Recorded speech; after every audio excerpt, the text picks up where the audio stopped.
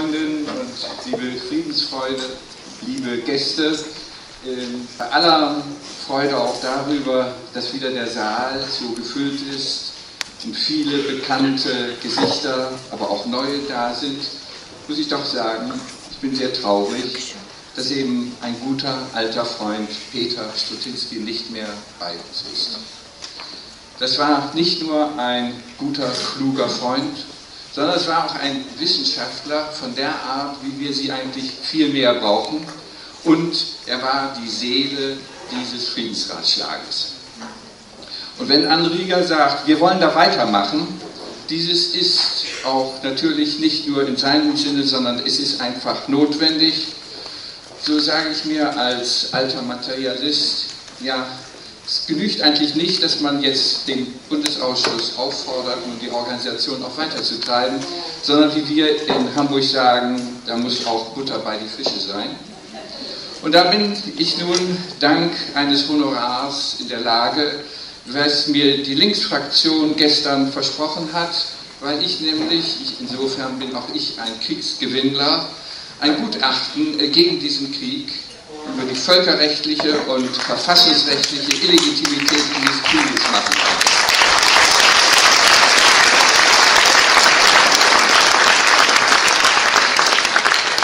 Ich möchte dieses Honorar, nicht viel, aber immerhin, es sind 2000 Euro, der Vorbereitung des nächsten Friedensratschlages widmen spenden, weil das notwendig ist.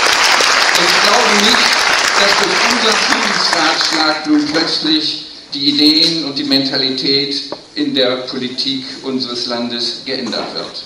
Und ich darf der Linksfraktion hier auch damit ganz offensichtlich, äh, öffentlich danken, dass sie mir die Möglichkeit macht, die Friedensbewegung in diesem kleinen Beitrag zu unterstützen.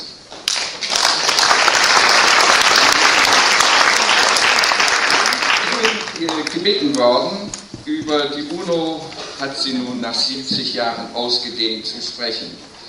Ich würde den Titel doch etwas anders formulieren, und zwar sozusagen Glanz und Elend der Vereinten Nationen, denn selbst alle professionellen Festredner müssen feststellen, wenn sie natürlich nach 70 Jahren die UNO hochleben lassen wollen, da gibt es sehr, sehr viel zu kritisieren. Wenn wir uns das kurz ansehen, Sie ist umgangen worden im Jugoslawienkrieg, permanent umgangen bei dem Palästina-Konflikt. Sie hat versagt selber im Ruanda, Völkermord, im Kongo, den über 5 Millionen Toten dort. Sie ist missachtet worden beim Irakkrieg, aber auch beim Libyenkrieg und sie ist dann wiederum instrumentalisiert worden, auch in Libyen und jetzt wird es auch wieder instrumentalisiert im Syrienkrieg. Dieses ist an sich ein Befund, der einen depressiv machen könnte, aber das dürfen wir bei diesem Anlass natürlich überhaupt nicht. Insofern möchte ich in Erinnerung rufen, was vielleicht noch bei den Älteren in Erinnerung ist aus den 60er, 70er Jahren, weil das große Zeiten und eine große Epoche der UNO gewesen ist. Und daran dann auch einige Schlussfolgerungen. Das erste ist, gehen wir einmal zurück welches die Älteren ja alle noch können, die Jüngeren vielleicht nicht mehr, in die Zeit der Unabhängigkeitskämpfe, der Dekolonisierung der 60er Jahre, als es in Afrika und in Asien sehr viele Kämpfe um die Unabhängigkeit von den kolonialen Mächten ging. Ich will nur kurz eine Daten. 1961 wurde die Bewegung der nicht paktgebundenen, der sogenannten Blockfreien, gegründet und 1964 dann die Gruppe der 77. Wir müssen uns vorstellen, 1945 gab es erst 51 Staaten in der UNO. Alle waren sie Kostgänger der USA und damit auch Stimmgeber für die USA. Dieses änderte sich im Laufe des Erfolges der Unabhängigkeitskriege und daran hat die UNO einen erheblichen Anteil. Denn im Jahre 1960 beschloss sie mit der Mehrheit aller, großen Mehrheit aller Stimmen eine Resolution, die berühmt geworden ist, die sogenannte Erklärung über die Gewährung der Unabhängigkeit an koloniale Länder und Völker. Ich will kurz nur einen Punkt oder zwei Punkte daraus zitieren. Da heißt es, alle Völker haben das Recht auf Selbstbestimmung. Kraft dieses Rechts bestimmen sie frei ihren politischen Status und verfolgen frei ihre wirtschaftliche und soziale, kulturelle Entwicklung. Dann heißt es weiter, alle bewaffneten Aktionen oder Unterdrückungsmaßnahmen gleich welcher Art gegen abhängige Völker sind einzustellen, um diesen die Möglichkeit zu bieten, ihr Recht auf volle Unabhängigkeit friedlich und frei auszuüben, die Integrität ihres nationalen Territoriums zu achten. Was für eine Aktualität hat diese Resolution immer noch. Und dann heißt es, jeder Versuch, die nationale Einheit und die territoriale Integrität eines Landes ganz oder teilweise zu zerstören, ist mit den Zielen und Grundsätzen der Charta der Vereinten Nationen unvereinbar. Das ist die berühmte Resolution 1514, die auch heute noch gilt. Und an ihr schließt sich dann auch an in den 60er bis in die 70er Jahre. Und vielleicht die Älteren werden das noch erinnern, als Arafat 1974 die Möglichkeit bekam, in der UNO zu stimmen. Das war auch das Jahr, als die Mehrheit der UNO-Mitgliedstaaten den Befreiungsbewegungen die Möglichkeit und das Recht zu einem Kampf um ihre Unabhängigkeit zugestand. Natürlich gegen die Stimmen der alten äh, Kolonialmächte, aber dieses war die Legitimation all dieser Befreiungsbewegungen des ANC, der SWAPO, der PAIEC in Guinea-Bissau, der Frelimo in Mosambik, des, äh, der äh, MPLA in Angola und auch der, MP, auch der PLO mit Gewalt um ihre Unabhängigkeit zu kämpfen. Und wir müssen sehen, der Erfolg war nicht nur der, dass diese allmählich alle in die UNO aufkamen und damit auch das politische Gewicht der UNO umkrempelten, sondern sie waren auch diejenigen, die den Kolonialbesitz auf eigentlich nur noch zwei sehr ja, Schandorte zu und Schandregionen zu begrenzen. Das ist einmal die Westsahara und zum anderen Palästina. Und es ist auch die Aufgabe der Friedensbewegung, auch bis zum Ende der Abhängigkeit dieser beiden Gebiete zu kämpfen.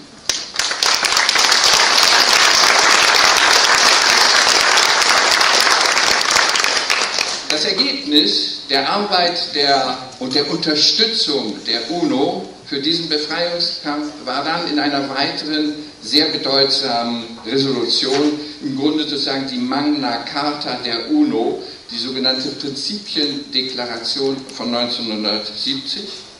Und das ist eine, die auch heute noch gilt, auch dort nur zwei Zitate.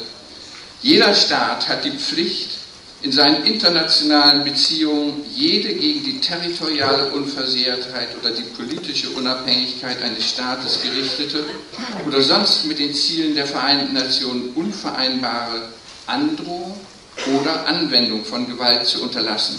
Eine solche Androhung oder Anwendung von Gewalt stellt eine Verletzung des Völkerrechts und der Charta der Vereinten Nationen dar und darf niemals als Mittel zur Regelung internationaler Fragen angewendet werden.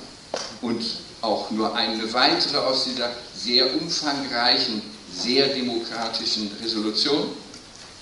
Jeder Staat hat die Pflicht, die Organisierung, Anstiftung oder Unterstützung von Bürgerkriegs- oder Terrorhandlungen in einem anderen Staat und die Teilnahme daran oder die Duldung organisierter Aktivitäten in seinem Hoheitsgebiet, die auf die Begehung solcher Handlungen gerichtet sind, zu unterlassen, wenn die in diesem Absatz genannten Handlungen die Androhung oder Anwendung von Gewalt einschließen. Diesen Absatz sollte man eigentlich einrahmen und der US-Administration übersenden.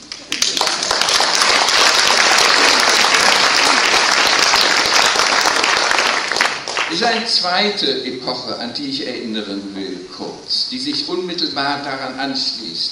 Denn mit der Unabhängigkeit ist zwar die politische Unabhängigkeit, aber noch nicht die ökonomische Unabhängigkeit erreicht. Und dieses war die nächste Aufgabe der UNO, die sie weit in die 70er Jahre hinein beschäftigte.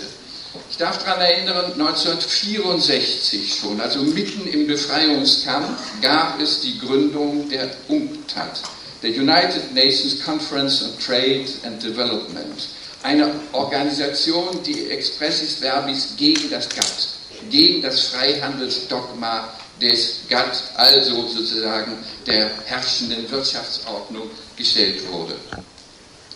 Sie hat, im Grunde ist sie ein Forum gewesen zunächst und ist dann auch als Organisation, als ein Organ der Generalversammlung gegründet worden. Sie ist ein Organ der UNO, ein Forum zur Veränderung, Veränderung der internationalen Wirtschafts- und Handelsbeziehungen. Und 1974 war es dann soweit, nach vielen langen und sehr zähen Verhandlungen, dass verabschiedet wurde eine Erklärung über die Errichtung einer neuen Weltwirtschaftsordnung. Wer erinnert sich heute eigentlich immer noch, wenn davon geredet wird, eine neue Weltordnung soll äh, etabliert werden? Damals war das der Versuch, der mehrheitlich durch die UNO beschlossen wurde. Es gab ein Aktionsprogramm gegen den GATT, gegen den Freihandel und 1974 dann auch im Dezember wurde die Charta der ökonomischen Rechte und Pflichten der Staaten verabschiedet. Ein Programm, man kann es heute sagen, ein keynesianisches Programm. Es war kein sozialistisches, es war ein keynesianisches Programm, welches sich aber gegen das Freihandelsdogma der damaligen herrschenden ähm, Milton Friedman Schule äh, gestellt hat. Interessant sind die Abstimmungsergebnisse dieser Resolution der damaligen UNO. 120 Stimmen dafür, 10 dagegen und 6 nur, nein, 10 haben sich enthalten und 6 dagegen. Und interessant ist, wer dabei war. Das war natürlich die USA, das war Belgien, Dänemark, Großbritannien, Luxemburg, Herr Juncker lässt grüßen, und die Bundesrepublik. Auch sie war im Kern. Und bei aller Kritik, die wir immer wieder an den USA ja, sozusagen berechtigt auch treffen, dürfen wir nicht vergessen, auf ihrer Schleimspur und in ihrem Windschatten war immer die Bundesrepublik.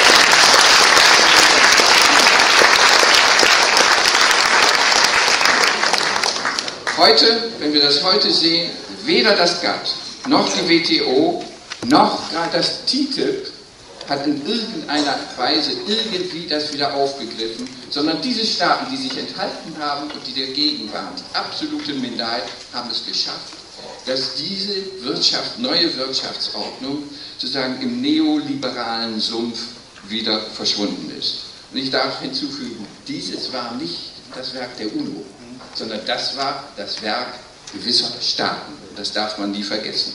Und dann noch ein letzter Punkt dazu, ähm, der auch sehr kontrovers gesehen wird, der aber notwendig in die Erfolgsgeschichte der UNO einzureihen ist. Und zwar ist das, dass es nach über 50 Jahren gelungen ist, nach 1945 endlich einen internationalen Strafgerichtshof in Den Haag zu etablieren. Dieses hat lange gedauert. 1998 gab es ein sogenanntes materielles Strafrecht, welches sozusagen die schwersten Verbrechen, Kriegsverbrechen, Verbrechen gegen die Menschlichkeit, aber auch Völkermord in den Katalog hineingezogen hat. Und 2002 wurde dann ein internationaler Strafgerichtshof er, äh, errichtet. Und dann, was auch ein großer Erfolg gewesen ist, 2010 in Kampala kamen alle Staaten wieder zusammen und haben jeden noch fehlenden Tatbestand, nämlich den Tatbestand der Aggression, der auch den Nürnberger Richtern so große Beschwerden gemacht hatte, um ihn zu definieren, nämlich den Angriffskrieg und ihn unter Strafe zu stellen. Dass das wiederum erst im Jahre 2024 oder so etwas geschehen wird, ist etwas anderes, aber es ist ein Erfolg als Dialektiker darf ich darüber nicht hinweggehen. Selbst wenn die größten Verbrecher, die wir haben, da immer noch nicht davor gestellt werden, nennen wir sie ruhig, von Kissinger über Bush, Rumsfeld, Cheney, Blair bis hin zu Barack, Olmert und Sibylle Da hat dieses System ebenfalls versagt. Aber es ist ein System, welches immer, und das ist das Werk der UNO gewesen, was zur Verfügung steht. Und wenn sich die Situation politisch einmal ändert, so haben diese Leute bestimmt auch dann Angst vor solch einem Gerichtshof. Und das ist meines Erachtens auch mit in der Erfolgsgeschichte. Und dort können wir wiederum sagen, nicht etwa die UNO hat ihren eigenen Strafgerichtshof kaputt gemacht, so dass es jetzt wieder nur aussieht wie ein afrikanischer Strafgerichtshof, sondern es sind die Staaten, die sich weigern, das zu unterschreiben. Und dazu gehören leider nicht nur die USA, Israel, sondern auch Russland, China, Indien und diejenigen, die eventuell immer im Kriegsgeschäft sind. Das ist der erste Teil. Lassen Sie mich jetzt ein weiteres, das letzte Kapitel, was eigentlich das ganze Elend und das traurigste Kapitel der UNO ist. Wir müssen es anschneiden, weil es absolut aktuell ist. Und zwar ist das der Syrienkrieg und was man dort mit der UNO macht. Ich möchte gerne an ein Zitat erinnern, welches nicht vergessen werden darf, was lange vor der UNO schon von Woodrow Wilson, dem amerikanischen Präsidenten, der damals den Völkerbund ins Leben rief, äh, hier noch einmal in Erinnerung rufen. Dieses ist ein Zitat, was über die den Völkerbund bis in die UNO und bis heute eigentlich Gültigkeit haben sollte. Er hat 1918 Folgendes gesagt. Die Errichtung einer Friedensorganisation, die es zur Gewissheit machen soll, dass die vereinte Macht freier Nationen jeden Angriff auf das Recht abwehren und dazu beitragen wird, Frieden und Gerechtigkeit größere Sicherheit zu verleihen durch Schaffung eines endgültigen Tribunals der Öffentlichkeit, dem sich alle unterwerfen müssen und durch dessen Vermittlung jeder internationale Vergleich seine Sanktionen erhält, der nicht durch friedliche Übereinkunft der unmittelbar betroffenen Völker erreicht werden kann. In einem Satz zusammengefasst sagte er, was wir versuchen, was wir suchen, ist die Herrschaft des Rechts, gegen, gegründet auf die Zustimmung der Regierten und getragen von der organisierten Meinung der Menschheit. Das war die Hoffnung im Jahre 1918 und bald ist es 100 Jahre her, dass wir nicht sagen dürfen, das war für ewig eine Illusion, sondern das ist nach wie vor unsere Aufgabe. Und deswegen zum Schluss noch einige Anmerkungen zu dem gegenwärtigen Krieg. Ähm, wir müssen klar sehen, dieses ist etwas, was die UNO und die UNO-Charta, das ganze Völkerrecht, vollständig beiseite lässt, mit ihm gnadenlos Schlitten fährt. Ich will nur kurz einige Daten dazu sagen. Äh, die Bundesregierung versucht das zu begründen, einmal mit dem Verteidigungsrecht nach Artikel 51, einem kollektiven Verteidigungsrecht für Syrien und für äh, Frankreich, zum anderen mit den Resolutionen aus dem Jahre 2014 und 2015. Demgegenüber ist Folgendes klar festzustellen. Es gibt ein kollektives Selbstverteidigungsrecht äh, zugunsten Syriens überhaupt nicht, weil Syrien niemals zugestimmt hat, eine solche Selbstverteidigung auf seinem Territorium gelten zu lassen. Es, man hat sich auch verweigert, überhaupt mit Syrien zu sprechen. Die USA hat immer gesagt, wir machen das, aber wir reden nicht mit dem. Und das ist nach dem Völkerrecht absolut unmöglich. Und man kann auch heute nicht sagen, wie es jetzt begründet wird, ja, Syrien sei unfähig und auch unwillig gewesen, sich selber zu verteidigen, wenn man gleichzeitig weiß, dass die USA öffentlicher gesagt haben, dieses Regime wollen wir beseitigen. Und sich jetzt darauf zu berufen, von einem Regime, welches man beseitigen will, Zustimmung für eine Intervention zu bekommen, ist eigentlich lächerlich. Das Zweite, es besteht auch kein kollektives Verteidigungsrecht zugunsten Frankreichs, Denn Frankreich hat kein militärisches Verteidigungsrecht, denn die Terroranschläge in Paris können gar nicht dem syrischen Staat zugerechnet werden.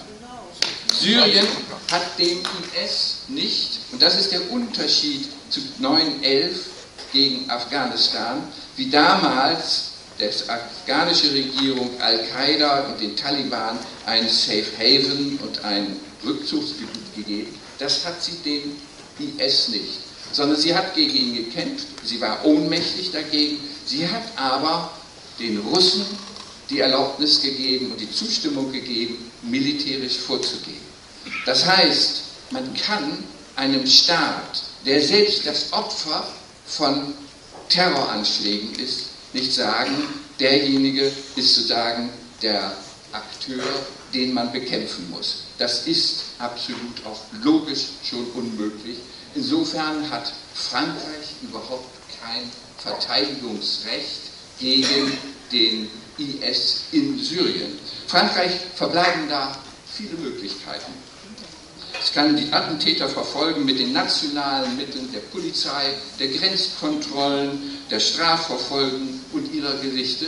Und es hat auch die Möglichkeit, Beistand der Mitgliedstaaten zu erreichen. Nur nicht über den Artikel, den sie wollen, um militärisch dort aktiv zu werden, sondern es gibt einen anderen Artikel, den Artikel 222, wo der Staat, der von einem Terroranschlag, und das ist direkt dort gesagt, äh, das Opfer ist, den Beistand, Polizeibeistand, Gerichtsbeistand, Grenzbeistand der anderen Staaten bekommen kann.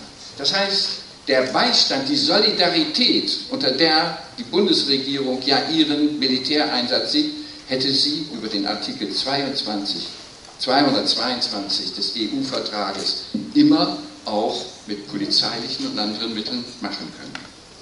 Schließlich beruft sie sich auf diese Resolution 200, 2249 und meint, diese würde den Einsatz des Militärs der Bundeswehr ermächtigen.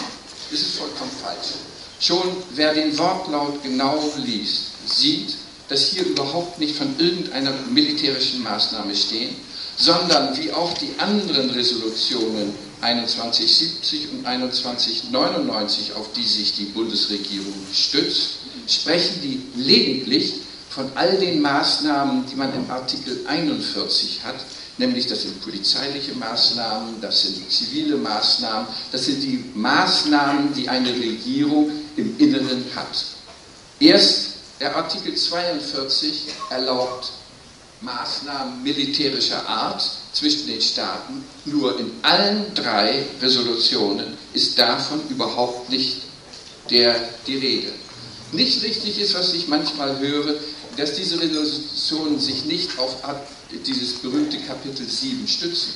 Das tun sie, aber eben nicht auf den Artikel 42, der militärische Maßnahmen ermächtigt, sondern auf Artikel 41 ganz ausdrücklich, der nur zivile Maßnahmen gibt. Insofern, wenn man sich das genau ansieht, ist widrig. Sie hat weder ein Verteidigungs kollektives Verteidigungsrecht nach Artikel 51, noch hat sie eine Resolution des UNO-Sicherheitsrats und deswegen kann sie sich auch gar nicht auf das Grundgesetz, auf diese berühmten Artikel 24 oder 87a berufen, weil dort die völkerrechtliche Berechtigung fehlt. Es ist sozusagen völkerrechtlich und auch verfassungsrechtlich widrig. Und ein letzter Punkt. Die Bundesregierung möchte ja immer dieses eigentlich als sozusagen eher als ein Solidarbeistand für Frankreich bezeichnet haben. Den Ausdruck Krieg, den will sie vermeiden. Den Ausdruck Krieg gibt es auch im Völkerrecht nicht, aber es gibt das Äquivalent, das heißt ein internationaler Konflikt. Und das ist es. Wir müssen sehen, der IS ist in der Zwischenzeit ja in zwei, sogar in drei Staaten tätig. Und zwar im Irak, in Syrien und allmählich auch in Libyen. Das ist eine internationale Kampfbrigade, eine Terrorbande, die international arbeitet. Und wer es genau wissen will, der kann aufzählen, dass es insgesamt 15 Staaten sind, die allmählich in Syrien intervenieren. Und zwar sieben NATO-Staaten und acht mit der NATO nicht verbündeten Staaten. Das heißt, dieses ist ein internationaler Konflikt, ein Krieg und nicht mehr ein nationaler Bürgerkrieg, wie es sonst, wie Sie es gerne mögen. Und das sollte man auch so, so nennen. Man sollte sich nicht sagen, davor verkneifen, auch das zu benennen, was man macht. Dieses ist ein Krieg. Es ist ein völkerrechtswidriger Krieg. Und die Frage ist, was bleibt von der UNO, was bleibt von der UNO-Charta und was bleibt von Völkerrecht? Und wir müssen sagen, leider nichts. Aber wir müssen auch fragen, hat das eigentlich die UNO verschuldet? Und wir müssen sagen, nein. Auch dieses ist etwas, was die Staaten und einige Staaten ja nur verschuldet haben. Wir müssen sehen, dass die UNO letztendlich nur die Widerspiegelung der internationalen Machtverhältnisse unter den Staaten ist. Ich frage auch, sähe die UNO eigentlich besser aus, wenn zum Beispiel die USA oder Israel auch nicht mehr da drin wäre? Überhaupt nicht. Sondern das wäre die Weltsituation noch viel unberechenbarer, wenn nicht die zeitweilige Kontrollmöglichkeiten durch die UNO nicht mehr bestehen. Das, was wir notwendig haben, ist wohl, dass wir unsere Hoffnungen, unsere Illusionen, unsere Arbeit, äh, Erwartungen und vielleicht auch unsere Paradiesbilder von einer funktionierenden UNO etwas revidieren müssen. Und wir müssen uns auch klar machen, diese UNO ist letzten Endes alternativlos, so hässlich dieses Wort allmählich geworden ist. Aber was sollen wir ohne die UNO machen, so wie wenn der Völkerbund zusammengebrochen ist? Sollen wir das alles der NATO übergeben, der EU? Oder sollen wir vielleicht auch einzelnen Staatslenkern wie Obama oder Putin? Ich würde sagen, Hände weg davon. Die UNO ist leider so schlecht sie ist. Aber wir sollen ihr nicht anlassen, dass andere mit ihr Schlitten fahren und dass andere sie missbrauchen. Ich bedanke mich für die Aufmerksamkeit.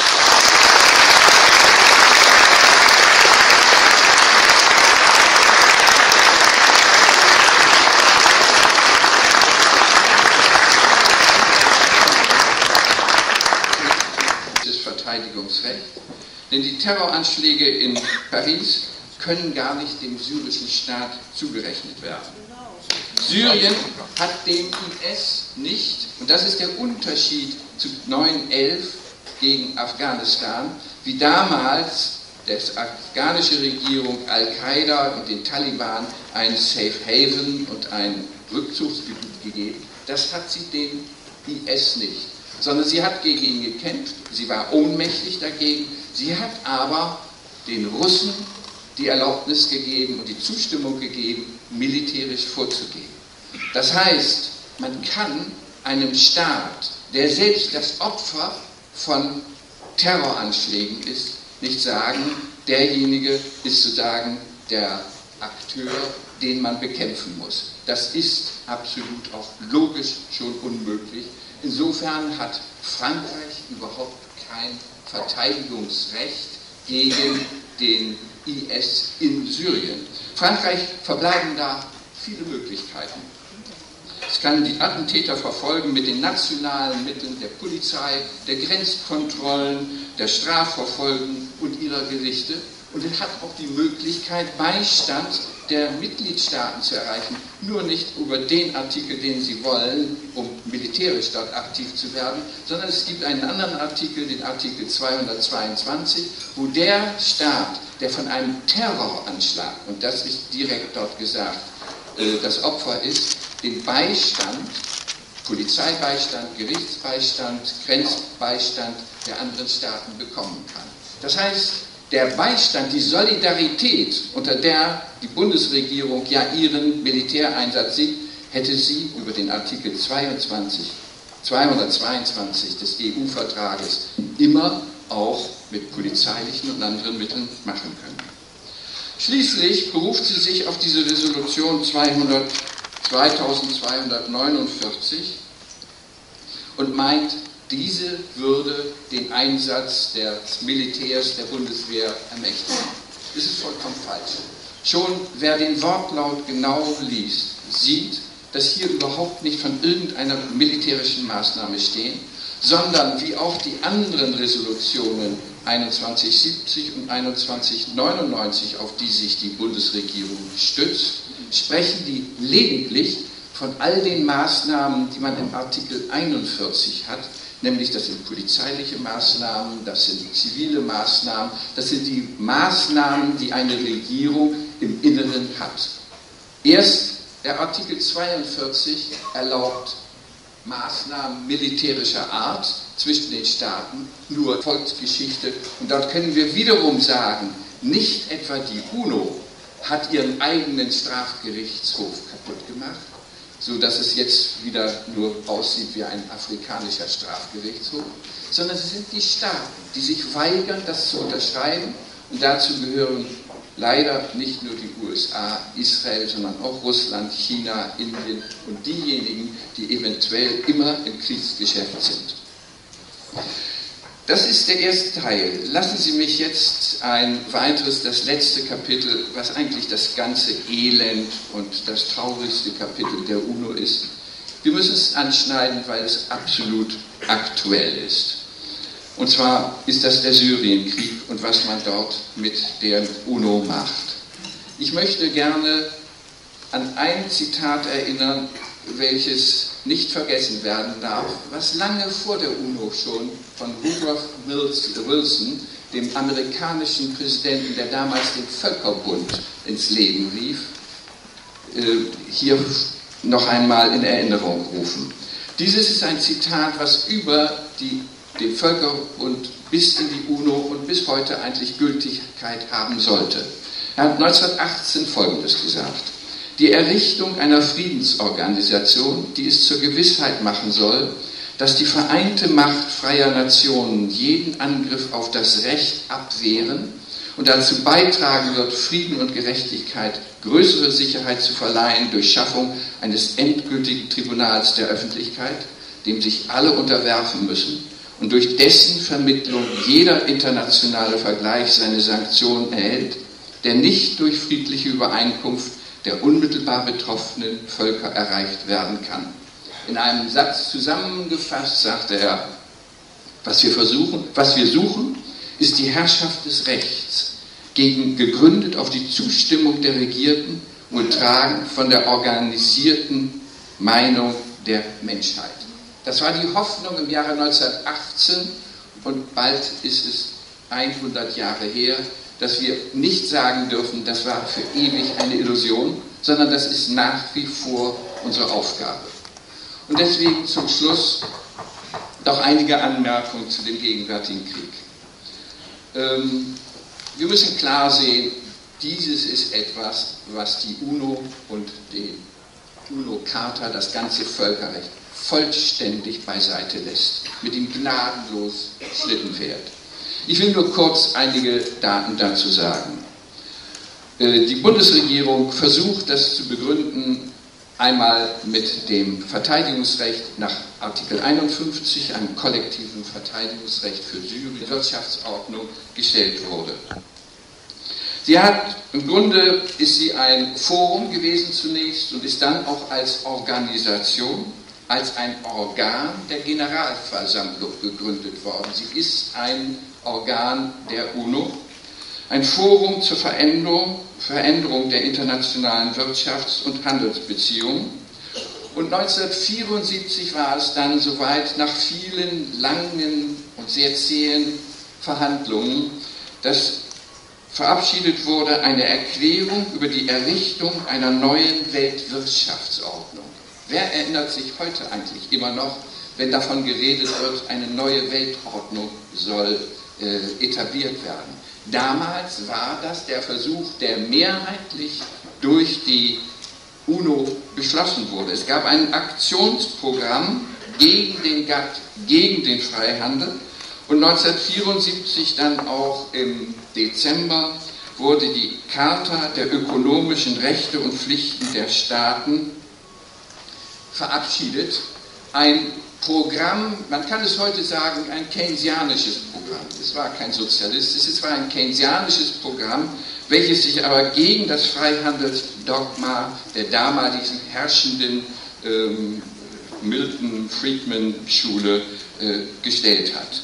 Interessant sind die Abstimmungsergebnisse dieser Resolution der damaligen UNO. 120 Stimmen dafür, 10 dagegen und 6 nur, nein, 10 haben sich enthalten und 6 dagegen. Und interessant ist, wer dabei war. Das war natürlich die USA, das war Belgien, Dänemark, Großbritannien, Luxemburg, Herr Juncker lässt grüßen, und die Bundesrepublik. Auch sie war im Kern. Und bei aller Kritik, die wir immer wieder an den USA ja, sozusagen berechtigt auch treffen, dürfen wir nicht vergessen, auf ihrer Schleimspur und in ihrem Windschatten war immer die Bundesrepublik.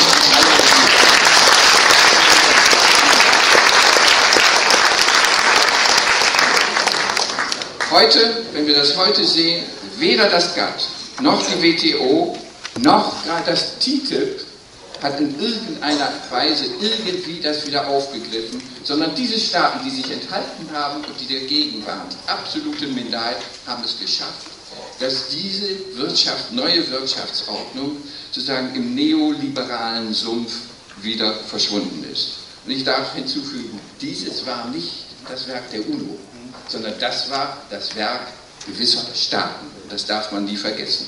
Und dann noch ein letzter, die Jüngeren vielleicht nicht mehr, in die Zeit der Unabhängigkeitskämpfe, der Dekolonisierung der 60er Jahre, als es in Afrika und in Asien sehr viele Kämpfe um die Unabhängigkeit von den kolonialen Mächten ging. Ich will nur kurz eine Daten. 1961 wurde die Bewegung der nicht paktgebundenen, der sogenannten Blockfreien, gegründet und 1964 dann die Gruppe der 77. Wir müssen uns vorstellen, 1945 gab es erst 51 Staaten in der UNO. Alle waren sie Kostgänger der USA und damit auch Stimmgeber für die USA. Dieses änderte sich im Laufe des Erfolges der Unabhängigkeitskriege und daran hat die UNO einen erheblichen Anteil. Denn im Jahre 1960 beschloss sie mit der Mehrheit aller, großen Mehrheit aller Stimmen eine Resolution, die berühmt geworden ist, die sogenannte Erklärung über die Gewährung der Unabhängigkeit an koloniale Länder und Völker. Ich will kurz nur einen Punkt oder zwei Punkte daraus zitieren. Da heißt es, alle Völker haben das Recht auf Selbstbestimmung. Kraft dieses Rechts bestimmen sie frei ihren politischen Status und verfolgen frei ihre wirtschaftliche und soziale, kulturelle Entwicklung. Dann heißt es weiter, alle bewaffneten Aktionen oder Unterdrückungsmaßnahmen gleich welcher Art gegen abhängige Völker sind einzustellen um diesen die Möglichkeit zu bieten, ihr Recht auf volle Unabhängigkeit friedlich und frei auszuüben, die Integrität ihres nationalen Territoriums zu achten. Was für eine Aktualität hat diese Resolution immer noch. Und dann heißt es, jeder Versuch, die nationale Einheit und die territoriale Integrität eines Landes ganz oder teilweise zu zerstören, ist mit den Zielen und Grundsätzen der Charta der Vereinten Nationen unvereinbar. Das ist die berühmte Resolution 1514, die auch heute noch gilt. Und an ihr schließt sich dann auch an in den 60er bis in die 70er Jahre. Und vielleicht die Älteren werden das noch erinnern, als Arafat 1974 die Möglichkeit bekam, in der UNO zu stimmen. Das war auch das Jahr, als die Mehrheit der UNO-Mitgliedstaaten den Befreiungsbewegungen die Möglichkeit und das Recht zu einem Kampf um ihre Unabhängigkeit zugestand. Natürlich gegen die Stimmen der alten äh, Kolonialmächte, aber dieses war die Legitimation all dieser Befreiungsbewegungen des ANC, das Gewalt zu unterlassen. Eine solche Androhung oder Anwendung von Gewalt stellt eine Verletzung des Völkerrechts und der Charta der Vereinten Nationen dar und darf niemals als Mittel zur Regelung internationaler Fragen angewendet werden. Und auch nur eine weitere aus dieser sehr umfangreichen sehr demokratischen Resolution.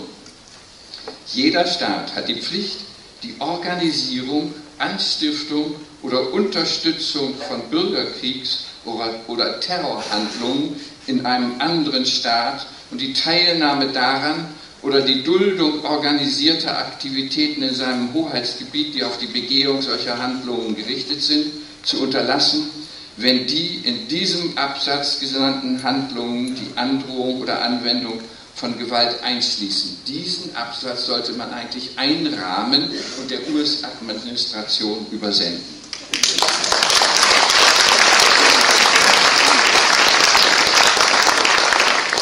Es ist eine zweite Epoche, an die ich erinnern will, kurz, die sich unmittelbar daran anschließt. Denn mit der Unabhängigkeit ist zwar die politische Unabhängigkeit, aber noch nicht die ökonomische Unabhängigkeit erreicht.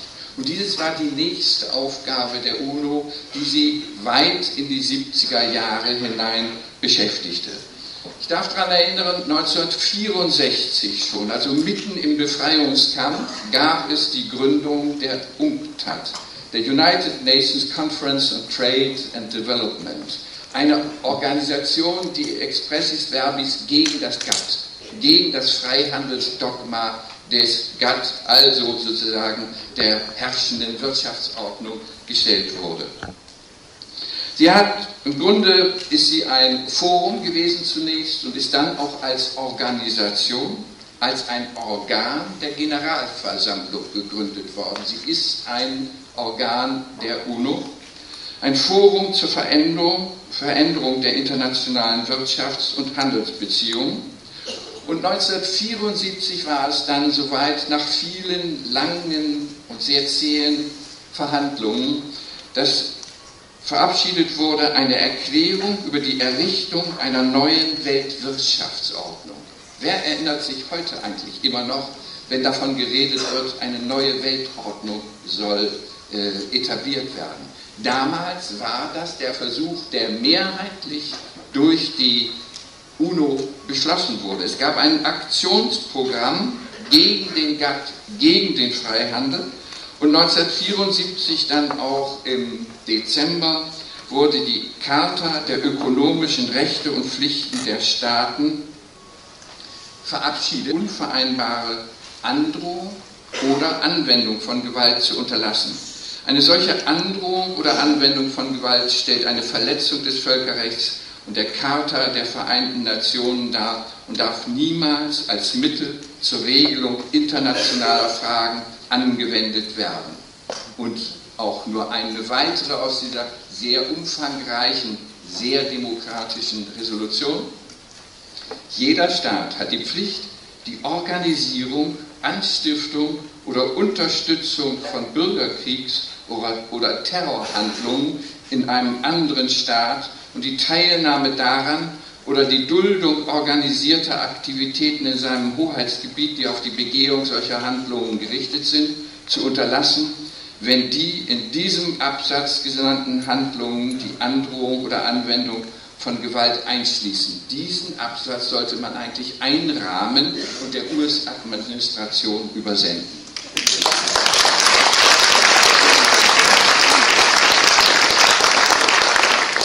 Ist eine zweite Epoche, an die ich erinnern will, kurz, die sich unmittelbar daran anschließt. Denn mit der Unabhängigkeit ist zwar die politische Unabhängigkeit, aber noch nicht die ökonomische Unabhängigkeit erreicht. Und dieses war die nächste Aufgabe der UNO, die sie weit in die 70er Jahre hinein beschäftigte. Ich darf daran erinnern, 1964 schon, also mitten im Befreiungskampf, gab es die Gründung der UNCTAD, der United Nations Conference on Trade and Development. Eine Organisation, die expressis verbis gegen das GATT, gegen das Freihandelsdogma des GATT, also sozusagen der herrschenden Wirtschaftsordnung, gestellt wurde. Sie hat, im Grunde ist sie ein Forum gewesen zunächst und ist dann auch als Organisation, als ein Organ der Generalversammlung gegründet worden. Sie ist ein Organ der UNO, ein Forum zur Veränderung, Veränderung der internationalen Wirtschafts- und Handelsbeziehungen. Und 1974 war es dann soweit, nach vielen langen und sehr zähen Verhandlungen, dass verabschiedet wurde eine Erklärung über die Errichtung einer neuen Weltwirtschaftsordnung. Wer erinnert sich heute eigentlich immer noch, wenn davon geredet wird, eine neue Weltordnung soll äh, etabliert werden? Damals war das der Versuch, der mehrheitlich durch die UNO beschlossen wurde. Es gab ein Aktionsprogramm gegen den GATT, gegen den Freihandel und 1974 dann auch im Dezember wurde die Charta der ökonomischen Rechte